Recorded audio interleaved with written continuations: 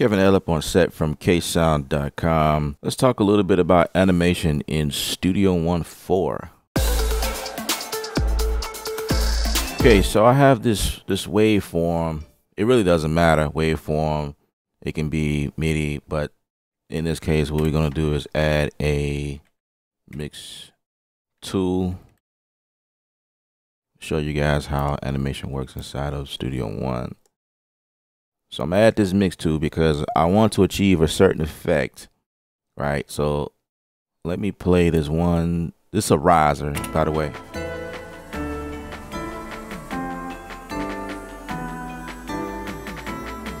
Right, so I want that riser. As a matter of fact, we can solo it. So I want the riser to be uh have a little rhythmic going on. What I'm gonna do here is select the the gain button. And if you were paying attention, you'll notice that things change at the upper left. It says gain. I'm gonna take this little hand here, drop it on the wave itself, and it automatically selected my automation lane for the gain. I could do something like this. I could use side chaining, but I decided to use automation here. So I could just like do something like this and take you know, just create a node for what I'm trying to do. And then come right here above it. And then raise the automation here. So my goal is to make this sound drop in and out. Let's go, let's come back. As a matter of fact, I'm going to put an anchor here so that we can start at the same spot all the time. Right? Something like that is what I was trying to do. But that is the long way, and that's how I used to do things in the past. Studio One has a cool automation uh, automation tools that they have. We'll go here for the square tool. And by the way, while we here, there's different tools you can use. You can have this one here. You can just click and drag to wherever you gotta go, or to wherever you want to go and it does it automatically, right? And then you can always come back and uh, let's see, change the tool to the selector tool and make fine adjustments, right? You can do it like that, or you can select another tool. If you want a line tool, you can do that. That's essentially, well, no, I was gonna say that's how I created this fade, but I just came off of the edge of the region and pulled it in.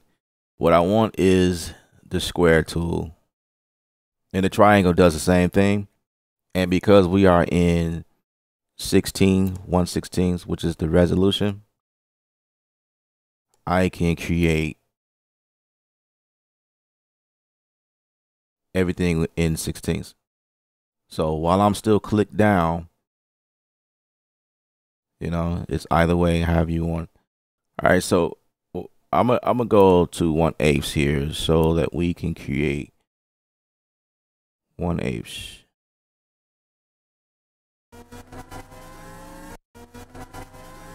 You can always select the transform tool, select everything right here, and then we can we can stretch this here you know, I don't want it to be so defined yet, so I say right, right about right, right there. All right.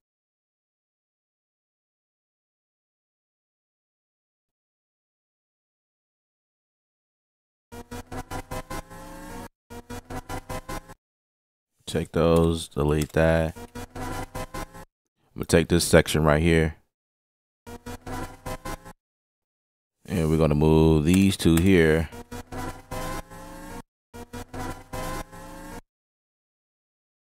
Go back to my tool, my automation tool, and create some more here.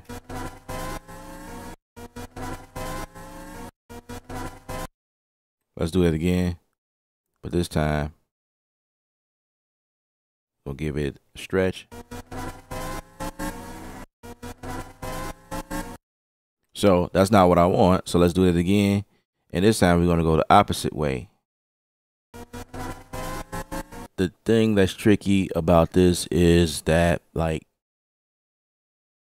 when you select everything, it's going to select the region as well. So when I hit duplicate, it's going to duplicate the entire region.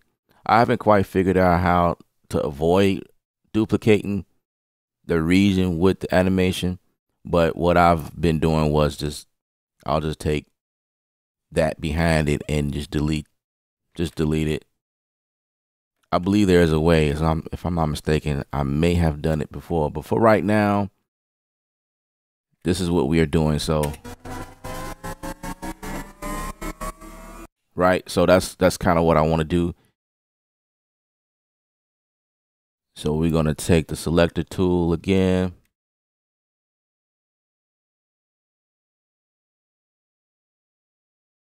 And just kind of duplicate it all the way across. I'm gonna come out of the automation mode, delete that, delete that, delete that, delete that, right?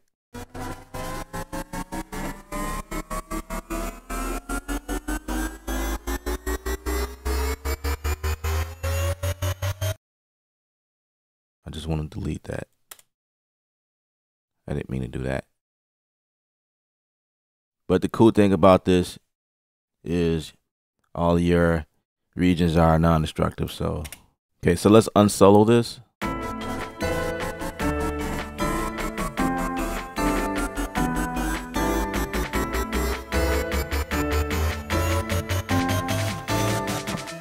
So now what I want to do here is switch gears, go to the next automation tool, which is called transform. And the cool thing about this is it's just really cool. So I selected everything here and now I can do things like this. I can do slopes or I can adjust the entire thing. So say that, say I wanted to start off subtle and then kind of build into a more intense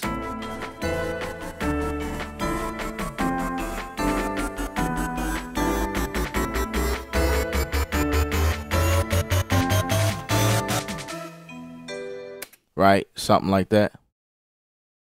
Um, and then if if if I wanted to stretch it backwards and forwards, like you know, timing wise, I can do that. I can move it up and down, which is pretty dope. But that's not what I'm trying to do. So the other cool thing is like you noticing how it gets smaller at the end, like there's like a beef in the middle. Like that's it's really cool.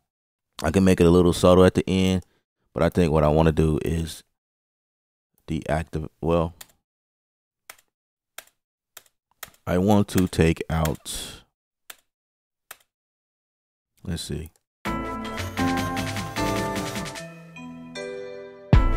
Right. I like that a whole lot better. So this is kind of what I was trying to achieve. So if we come out of here, let's deactivate my anchor here and then come out some.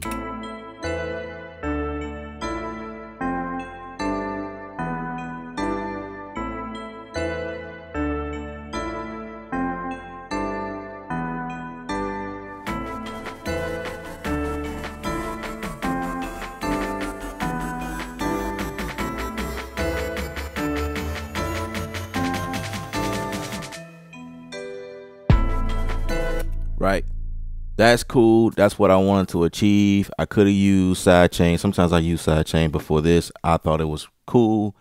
Um, I can work within the same region without needing a second channel, create another sound to duck and dive or whatever. But I think this was this is great for for this for this this type of idea. And then finally, the the the reason why I will put automation on a mix tool or a mix or a gain tool, like I think in Logic is called gain, but it's to avoid messing with my volume because I want to still be able to adjust my volume. So so while I'm doing all the cool things on a plugin, I can still turn down my volume here.